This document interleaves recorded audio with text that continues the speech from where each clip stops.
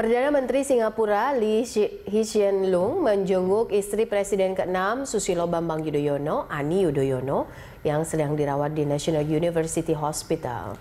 Ya, Lee Hsien Loong menyampaikan semangat dan doa lekas sembuh untuk Ani. Perdana Menteri Singapura datang menjenguk Ani Yudhoyono ditemani Madam Ho Ching serta Wakil Perdana Menteri Singapura Theo Chihian dan istrinya. Lee Hsien Loong disambut langsung oleh SBY serta putra SBY Agus Harimurti Yudhoyono serta Edi Baskoro Yudhoyono. Kedua pemimpin Singapura itu menjenguk dan menyapa Ibu Ani dari kejauhan.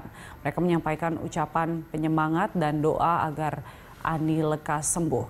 Pertemuan berlangsung secara kekeluargaan. Saat ini Ani Yudhoyono masih dirawat intensif karena menderita kanker darah.